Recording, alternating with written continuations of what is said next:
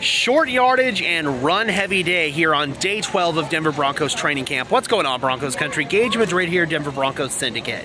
Despite that, we did see some good work from the quarterbacks today during 7 on 7s and 11 on 11s. 7 on 7s, especially, Bo Nix shined with two touchdown passes working with the second team unit.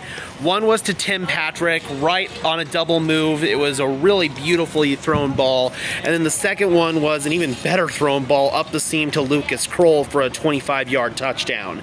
Absolutely gorgeous stuff from Bo Nix today. And despite what the initial depth chart that the Broncos released indicates, Bo Nix worked with the twos today per, per the ordinary rotation. Jarrett Stidham with the ones and Zach Wilson with the threes.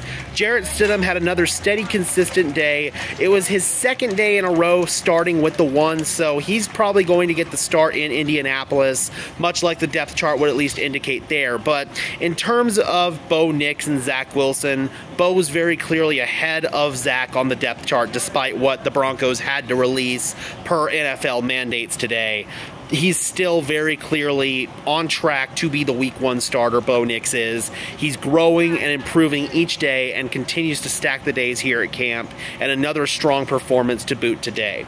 All right, Broncos country, we will be back out here tomorrow for day 13. Be sure to leave a like on this video as well subscribe to the channel. And until next time, guys, I am your host, Gage Madrid, saying peace out.